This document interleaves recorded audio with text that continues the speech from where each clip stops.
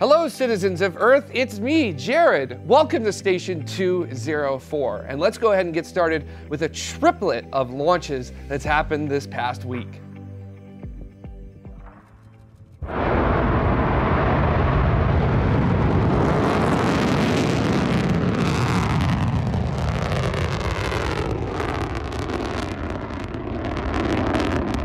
Starting off in China at the Jiuquan launch base, Xiaolong 1, also known as Smart Dragon 1, had its maiden launch at 0411 Universal Time August 17th. Developed by the China Academy of Launch Vehicle Technology, a division of China's state-owned launch vehicle manufacturer, it carried three satellites successfully to a sun-synchronous orbit.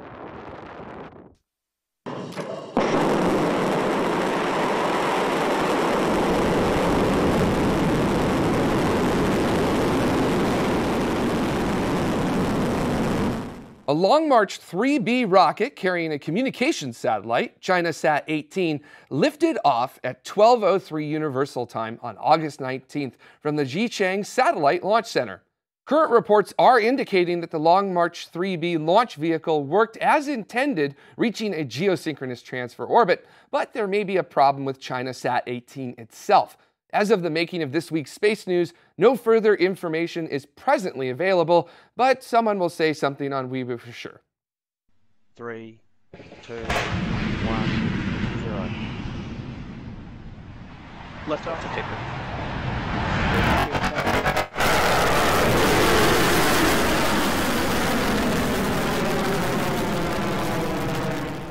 Just a few minutes later on August 19th at 1212 Universal Time, Electron's Look Ma, no hands, mission left Launch Complex 1 at the Mahia Peninsula in New Zealand, carrying four satellites for three customers, Black Sky, the United States Air Force's Space Command, and Unseen Labs. Insertion into low Earth orbit and deployment of all payloads occurred as planned. And here are this week's upcoming departures.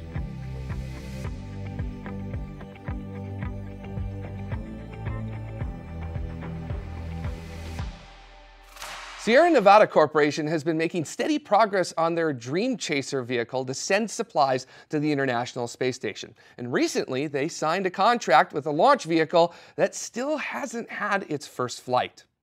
At least six launches have been booked for the mini shuttle on United Launch Alliance's Vulcan Centaur rocket, which is currently set to begin qualification testing.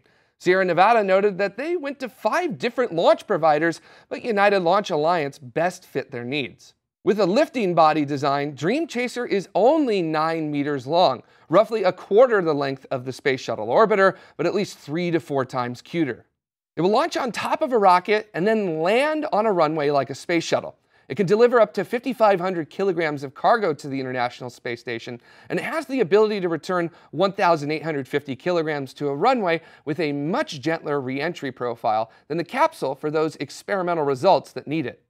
Sierra Nevada has said all six of the currently contracted resupply and return flights will land at NASA's Space Shuttle landing facility at the Kennedy Space Center, and flights will begin as soon as Vulcan Centaur is ready, which is currently aiming for an April 2021 debut flight. And in another win for ULA's Vulcan Centaur rocket, Astrobotic Technology announced that they've selected the aforementioned rocket to send its Peregrine lunar lander to the moon in 2021 as a part of NASA's Commercial Lunar Payload Services program. This will occur on the debut launch of Vulcan Centaur. So it looks like after Jared got back from his vacation, only evil Jared survived. My name is Jamie Higginbotham. I am Benjamin's evil alter ego and I wanted to talk to you today about Virgin Galactic and Spaceport America. Virgin offered us some rare peeks inside of the spaceport to see what it would be like as citizen astronauts await their flights. Now, as you'd expect, the area is expansive and beautiful and dripping of that clean, futuristic vibe that we generally like here on Tomorrow. More than just a terminal for astronauts, Spaceport America also houses Virgin Galactic's Mission Control Center that will be the operations hub for their flights. The facility has all of the required ground support equipment for both the carrier aircraft and the spaceship itself, and of course hangar space for everything too. It's getting pretty exciting because it feels like Virgin Galactic passenger flights are imminent. But they are pretty far behind their original schedule, and that's had some not so great consequences for the spaceport. Spaceport America was officially declared open on October 18th, 2011, at a pretty hefty cost to the taxpayers. With Virgin Galactic not taking up full residency right away, the spaceport's revenue has fallen well below projections for years now, much to the angst of the local New Mexican residents. In June of 2015, a visitor center was opened in Truth or Consequences, which is a number of kilometers away from the spaceport itself.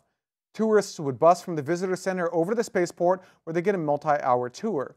But missing from that tour was basically the Virgin Galactic wing of the spaceport, one of the primary reasons you probably want to go. Well, it was missing until now. As of this month, nearly eight years after the spaceport originally opened, Virgin Galactic is finally moving into what they call operational readiness. This means that their wing of the spaceport is nearly ready for passengers. They're starting to accept their vehicles on site, and soon I expect we'll start to see flights to space and operational testing from their new home. Yeah, it's been a long and difficult path, and not everything has gone to plan, but it feels like Virgin Galactic is getting pretty close to being able to fly actual paying customers very soon. And sure, the tickets still cost quite a bit of money, but we're on the cusp of something great here. We're about to enter a time where weekly or maybe even daily flights to space are a normal thing. And that's just pretty freaking cool. And speaking of taking up residency, let's also talk about NASA's Vehicle Assembly Building over on the East Coast. The VAB, or Vehicle Assembly Building, is one of the largest buildings in the world by volume. The doors are nearly 139 meters tall and take over 45 minutes just to open. It's so massive, it can have its own weather with rain clouds forming inside the building below the ceiling on humid days. Completed in 1966, it was originally designed to help assemble NASA's mighty Saturn V rocket that took humans to the moon. Then, after the Apollo program, the VAB was repurposed for shuttle, and now part of the VAB is being repurposed for Space Launch System, or SLS. But NASA doesn't need all four of the massive high bays that are inside the VAB anymore, even with them bringing SLS online. So, what do they do with the unused space, those extra high bays? Northrop Grumman has become the first commercial tenant of the VAB and will be assembling their Omega rocket inside of High Bay 2. On August 16th, there was a ribbon cutting ceremony celebrating the partnership between NASA, the Air Force, and Alliant Techsystems Orbital Sciences Corporation, a space innovation systems division of Northrop Grumman. That, by the way, is an aerospace company's merger joke, and I thought it was pretty funny. Northrop Grumman will also be modifying Mobile Launcher Platform 3, or MLP 3, which is the thing they will assemble the rocket on top of while it's in the VAB, then roll out and launch from their pad. Okay, so this is pretty cool, and I'm really excited that we're finding new uses for these really historic buildings. But I am a little bit curious about operations.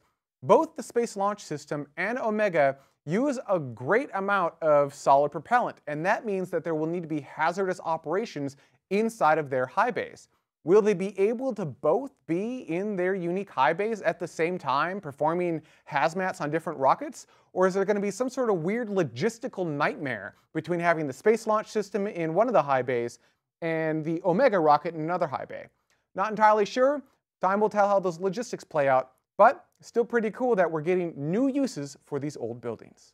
And now to hear about the latest happenings for the winds in our inner solar system, here's Dr. Tamitha Skov. Space weather this week continues to be a bit on the quiet side. As we switch to our front side sun, you can see the disk continues to be completely spotless. This means amateur radio operators and emergency responders, the solar flux continues to be low, so radio propagation on Earth's day side is going to also be poor. We also don't have anything rotating in through the Earth strike zone this week, so we don't have any storms on the way. However, if you look at the east limb of the sun, you do see that dark coronal hole, and that is beginning to rotate into Earth Earth view, it's actually one of two coronal holes. As we switch to our backside sun, well, our partial backside sun with stereo, you can see the two sets of coronal holes right there. This is the pair of coronal holes that last rotation gave us a nice sized solar storm and brought aurora clear down to Colorado. So aurora photographers, get ready because you've got about two weeks, maybe a little bit less, to get your batteries charged.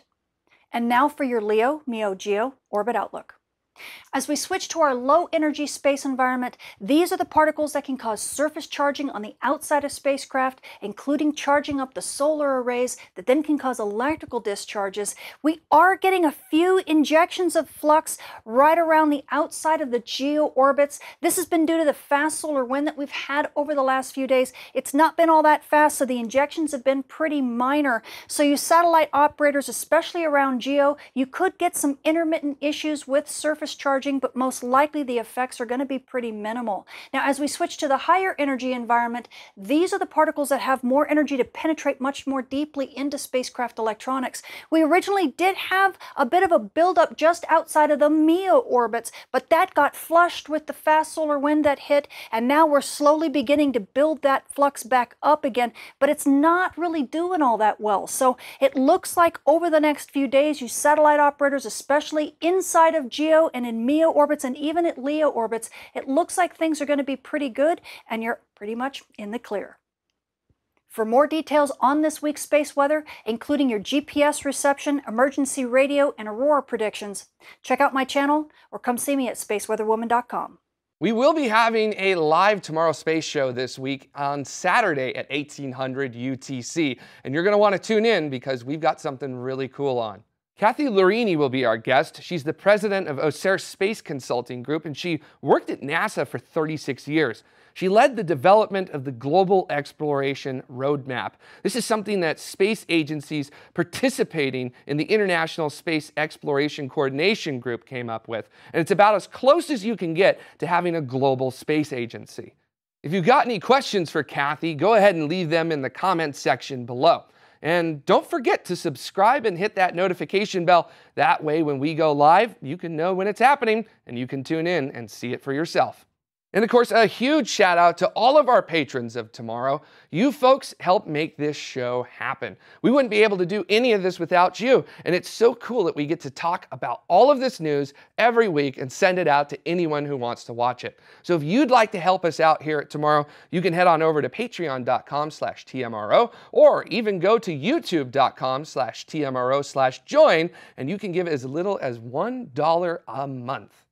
Thanks for watching, everybody, and until the next space news, keep exploring.